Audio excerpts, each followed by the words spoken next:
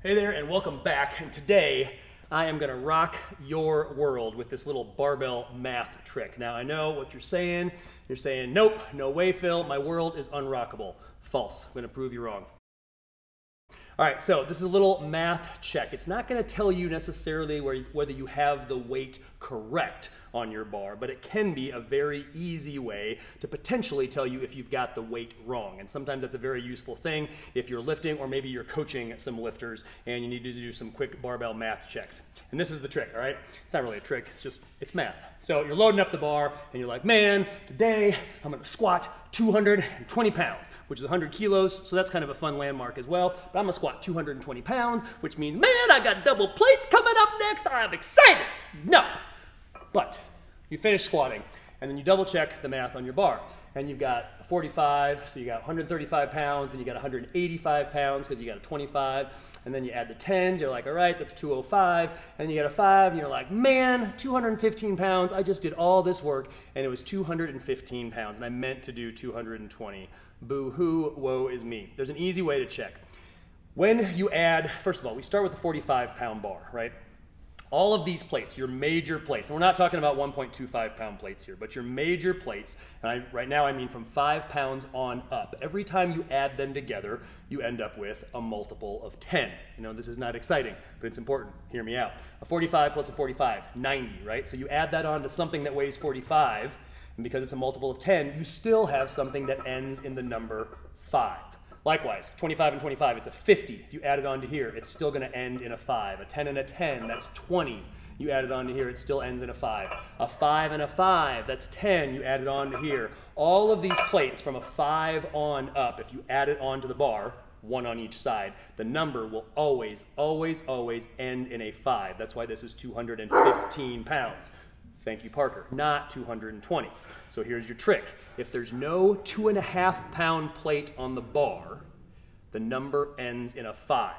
So if I want 220, I know at a distance, without even knowing what this actually is, I know it's not 220 because there's not a two and a half pound plate on the bar. So if I want it to be 220 pounds, 220 ends in a zero.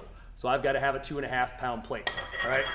So you didn't follow all the math, the takeaway is if the barbell needs, if the weight on the bar needs to end in a zero, like 220, you need a two and a half pound plate as the last plate on the bar, assuming that you're loading it in the correct manner where you always put on the biggest plate possible, all right? If the number is gonna end in a five, then it's gonna end, well, it's gonna end without a two and a half pound plate, all right? So that's math trick number one. There's also a trick for kilos. Okay, in kilograms. If you train in kilograms, maybe you are a weightlifter, maybe you watch weightlifting meets, or maybe you just, for whatever reason, have plates like these. And I'm talking about having plates that obey what is known as the one kilogram rule, where you can go up one kilogram at a time. So you can do 182, 183. So you've got half kilogram plates, you've got one kilogram plates, one and a half kilogram plates, and they're color coded. And it turns out this is real useful. This is based on the idea that from the red plates on up, from the two and a half kilo plates on up, whether you are using a men's bar, a 20 kilo bar, or a women's bar, a 15 kilo bar, or a junior bar, a 10 kilo bar, or a technique bar, uh, like a five kilogram aluminum bar.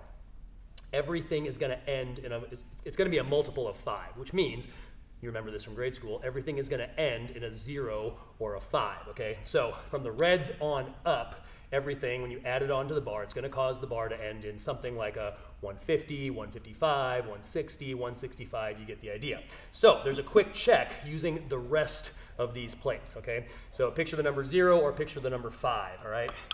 If you have a half kilo plate on each side, half and a half makes a one.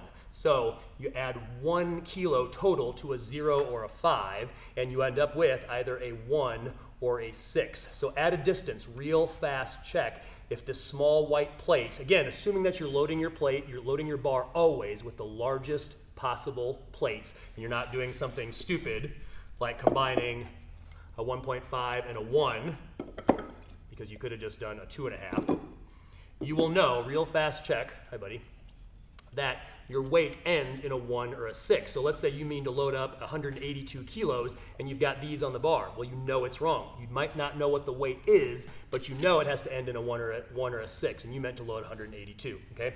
So And this becomes very quick. With practice, you'll know real fast. You're like, oh, I need, you know, 193 kilos. I guess I'm gonna need yellows, okay?